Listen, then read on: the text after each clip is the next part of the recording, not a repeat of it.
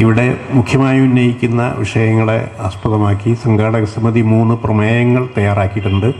അത് നിങ്ങളുടെ അംഗീകാരത്തിനായി അവതരിപ്പിക്കാനായി ഡോക്ടർ വിശ്വനാഥനെ ക്ഷണിക്കുന്നു.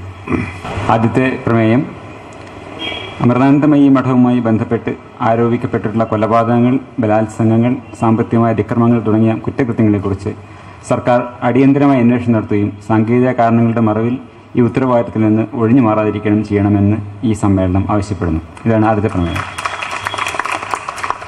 രണ്ടാമത്തേത് ആൾദൈവങ്ങൾക്കും ആത്മീയ കച്ചവടക്കാർക്കുമെതിരെ ഉയർന്നുവരുന്ന വസ്തുതകളും സംഭവ വികാസങ്ങളും മാധ്യമധർമ്മം വിസ്മരിച്ച് ജനങ്ങളിൽ നിന്ന് മറച്ചുവെക്കുന്ന ജനാധിപത്യ വിരുദ്ധ രീതി മാധ്യമങ്ങൾ അവസാനിപ്പിക്കണമെന്നും സത്യസന്ധമായി മാധ്യമധർമ്മം പാലിക്കണമെന്നും ഈ സമ്മേളനം ആവശ്യപ്പെടുന്നു.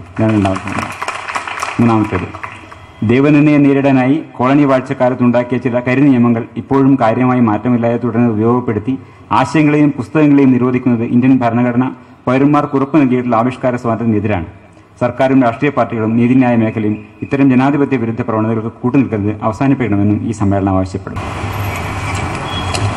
ഒരു സാമാന്യം വലിയ ഒരു സദസ്സ് തന്നെ ഇവിടെ ഉണ്ട് ഇതിലും എത്രയോ വലിയൊരു സദസ്സാണ് ധർമ്മരക്ഷാ സമിതി എന്ന നിലയിൽ ഇവിടെ എറണാകുളത്ത് വെച്ച് കൂടിയത് ലക്ഷക്കണക്കിന് ആൾക്കാർ. കടൽ പോലെ അപ്പുറം കടലും ഇപ്പുറം ജനങ്ങളുടെ കടലും എന്നാണ് വെള്ളാപ്പള്ളി നടേശൻ അതിനെ ഓർമ്മിച്ചത് അത്ര ഗംഭീരമായ അത്ര ഞെട്ടിക്കുന്ന ജനസഞ്ചയം ഈ വിശ്വാസഭ്രാന്തിനു വേണ്ടി അണിനിരക്കാൻ കേരളത്തിലുണ്ട്. അവിടെ വളരെ ബഹുമാന്യൻ ആയി ഇന്ന് കേരളത്തിൽ അറിയപ്പെടുന്ന ഒരു സന്യാസി ചിദാനന്ദപുരി അദ്ദേഹം പറഞ്ഞ ഒരു വാചകം ചില വാചകങ്ങൾ ഞാനിവിടെ ഒന്ന് വായിക്കാം. ഒരാൾക്ക് സന്യാസം കിട്ടണമെങ്കിൽ കുറേ പണിയുണ്ട്. ഗുരുനാഥന്റെ അടുത്ത് പോയിട്ട് ദീർഘകാലം സേവ ചെയ്ത് ബ്രഹ്മചാരിയായി കഴിഞ്ഞ് നൈഷ്ഠിക ബ്രഹ്മചര്യ ദീക്ഷ സ്വീകരിച്ച് പിന്നെ സേവ ചെയ്ത് ശാസ്ത്രപഠനം പൂർത്തിയാക്കി ഗുരുനാഥൻ കൃപ തോന്നിയാൽ എത്രയോ വർഷങ്ങൾക്ക് ശേഷം സന്യാസം തരും. ഈ ഒരു വാചകം കേട്ടപ്പോൾ ഞാനിങ്ങനെ ആലോചിച്ചു. ഈ ഈ ധാരണയാണ് ഈ സന്യാസം എന്നത് എന്തോ അപൂർവമായ ഒരു കാര്യമാണ് അഭിനന്ദിക്കേണ്ട കാര്യമാണ് ബഹുമതിക്കേണ്ട ഒരു കാര്യമാണ് എന്നൊരു ധാരണ നിലവിലുള്ളത് കൊണ്ടാണ് ഈ ഗെയിലൊക്കെ ഇത്രയും അധികം പീഡനങ്ങൾ സഹിച്ചത്. സേവ എന്ന പേരിൽ അവർ അടി വാങ്ങിച്ചു.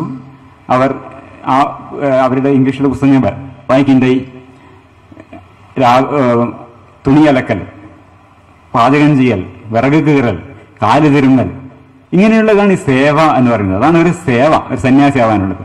പിന്നെ ഒന്നുള്ളത് ശാസ്ത്ര പഠനമാണ് ഈ ശാസ്ത്ര പഠനം എന്ന് പറയുന്നത് ശാസിക്കപ്പെട്ട സാധനങ്ങൾ പഠിക്കുക എന്നുള്ളതാണ്. അല്ലാതെ സയൻസ് എന്നുള്ള അർത്ഥത്തിലല്ല ശാസിക്കപ്പെട്ട സാധനങ്ങൾ. അതാണ് ശാസിതമായത് എന്തോ? അതാണ് ശാസ്ത്രം.